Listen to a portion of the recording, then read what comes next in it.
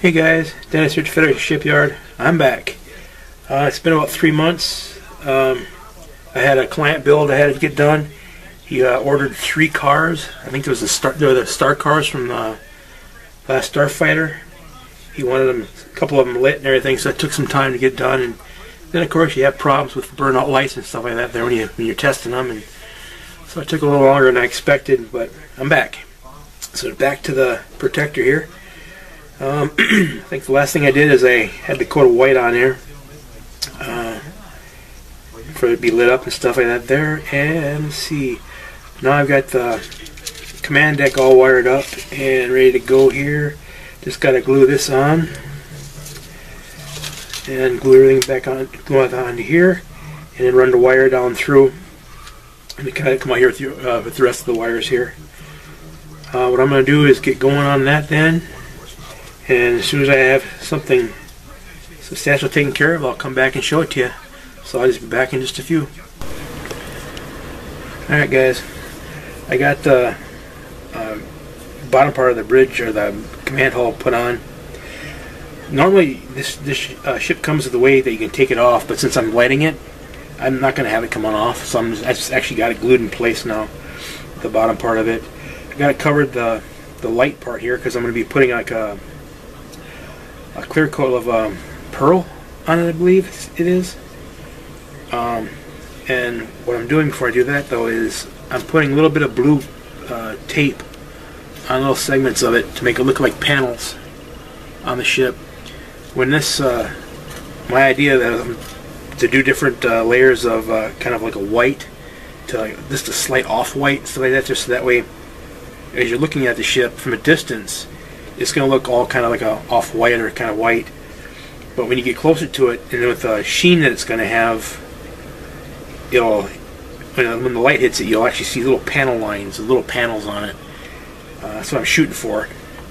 So as you can see, I got quite a bit of it on there. I mean, not real quite a lot, but just enough to make it interesting when it when it turns into the light. Because I don't want it to be overpowered, like when you see it all the time. I want it to just be like subtle. a little bit on the bottom. Gotta do a little bit more back here. And see. Yeah, I still gotta do a little bit along this side because I, I want, both sides to match. Not identical, but to match pretty good. So, with about the same amount on it. Um, so I'll get back at it.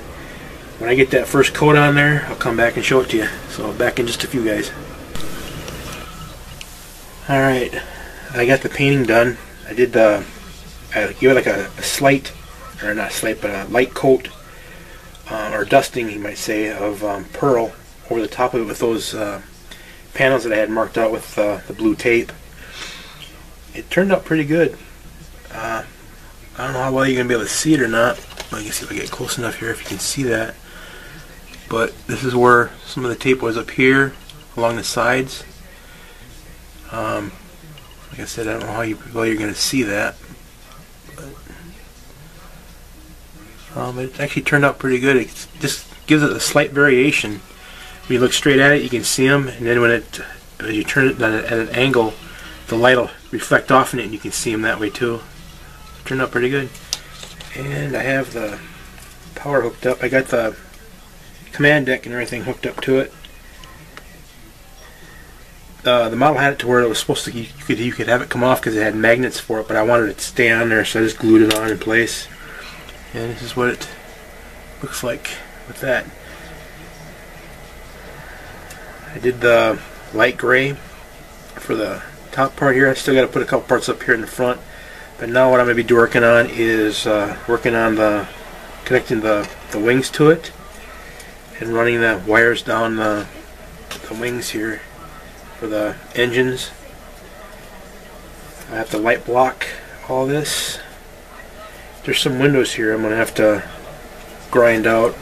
It's going to be awful hard to do that because they're right on the thickest part of the wing. So what I might end up doing is just uh, taping it off in the back and then putting lights behind it and have them kind of like do a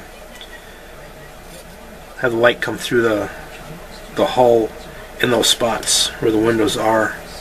The, I think it's uh, the Raytheon lighting do it that way, I guess. We'll experiment with it as I go along here to see how it's going to work. But uh, yeah, I think it turned out pretty good with the with the panel lighting, the lines on it actually looks pretty cool. Yeah, so, all right, that's where I'm at now for this. Uh, I think I'm going to end this little segment. I need to get something up. I haven't been had anything up in uh, a few months, so that's where I'm going to end this one. To thank you for watching. Thanks all my, to my new subscribers for uh, subscribing. Um, yeah, just hit that like and subscribe button. If you have any comments, you can hit it, uh, put it in below, and I'll get back to you. And uh, we'll see you in the next one in just a few.